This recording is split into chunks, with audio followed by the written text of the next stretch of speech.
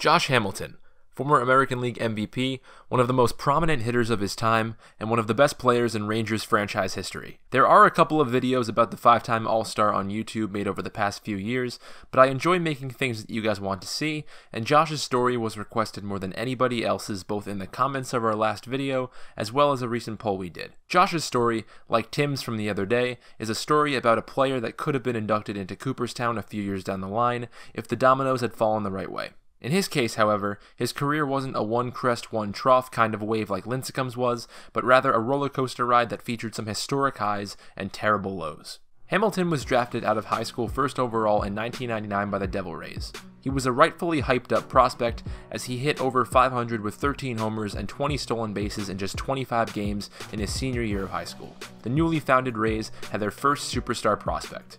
By 2001, Josh was as impressive as advertised, finding lots of success in the lower level parts of the organization. Unfortunately, that was the first year Josh had to be admitted for rehabilitation after struggling with drug and alcohol use. Two years later, in 2003, it became a more serious issue as Josh failed his drug test before the regular season began and decided to take the rest of the season off. He failed three drug tests the following year and was suspended for the entire season.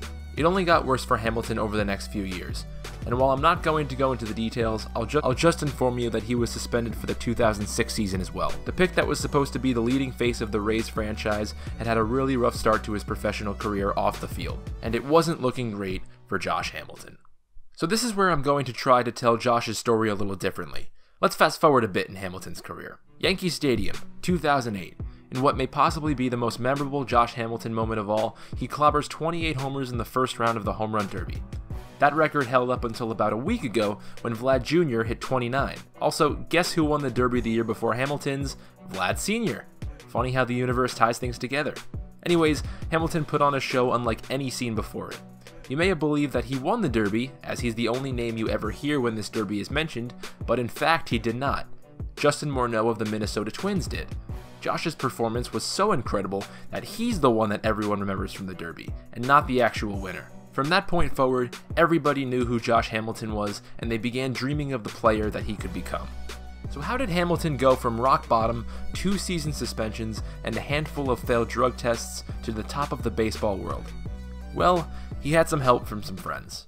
It's rewind time. Let's go back to where we left off in 2006. A man named Michael Dean Chadwick of Crossover Ministries lent a helping hand to the future Ranger. He got Josh out of a very rough place and got him back on his feet for the next few years. Michael ended up becoming Josh's father in law a few years down the line, as his influence changed his life in more ways than one. A former player by the name of Roy Silver also came to Josh's aid, as he allowed him to use his baseball facility in Florida if Josh agreed to work for him. At one point, Josh was sleeping on an air mattress at the facility, unbeknownst to the fact that he'd be playing in a World Series four years later. The very next year, after ending up back in the major leagues and a member of the Cincinnati Reds organization, Josh Hamilton had made his major league debut. He had finally made it and went from sleeping at his job to playing in a major league game in a little over a year. He had a fantastic rookie season, but had exceeded rookie limits and was shut out from the Rookie of the Year vote. Josh was traded to the Rangers at the end of the 2007 season and was ready to begin a new chapter in his career. So now we're almost back on track as we take a look at 2008. Hamilton began the season as the starting center fielder for the Rangers and became the first player in American League history to win Player of the Month the first two months of the season. He was rightfully voted into the All Star game, and we've already discussed what happened during the All Star break. I don't think that ball's landed yet. We're going to pass through an injury ridden All Star season in 2009 and get to the peak of Josh Hamilton's career in 2010, the year he would win AL MVP and go to his first World Series. Hamilton had the spotlight in 2010. He won a batting title, had an OPS of over 1 which led the American League, and he and the Rangers were going to their first World Series. Not before Josh won ALCS MVP though. This is where our two player profile headliners meet.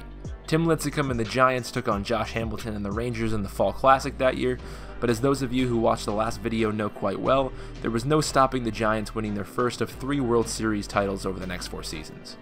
Texas would, however, make it back to the World Series the following year, but couldn't close the door on David Freese and the Cardinals with only one strike to go.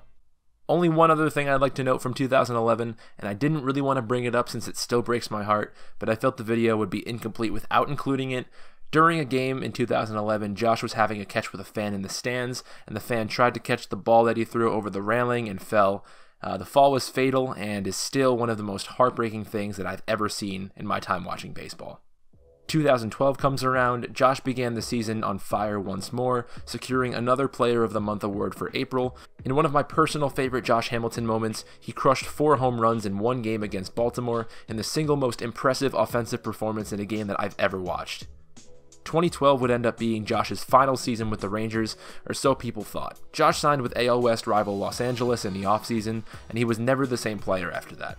After signing prominent free agents like Albert Pujols and CJ Wilson the year prior, the Angels were being aggressive yet again with the signing of one of baseball's biggest hitters. The bad thing for the Angels is, similarly to the others, the signing just didn't work out. Josh's offensive production was way down, and he just didn't have the relationship with the fans like he did in Texas.